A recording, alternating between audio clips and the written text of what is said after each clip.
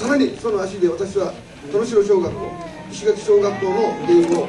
調べました。石垣小学校の体育館の東にあります道端にある大きな礼葉がいっぱい茂っておりますけれども枝先に花芽がいっぱいついております間違いなく今年は咲かせてくれるものだと思っておりますかつてはウルズンの説になりますと校庭はもちろんあちこちに真っ赤なデーブが咲いて取りまし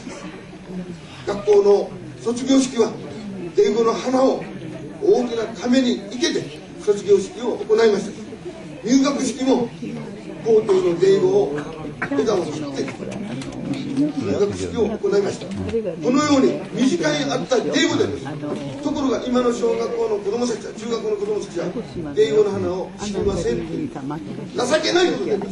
なん。とか咲かさなければならないということで頑張っていきたいと思います。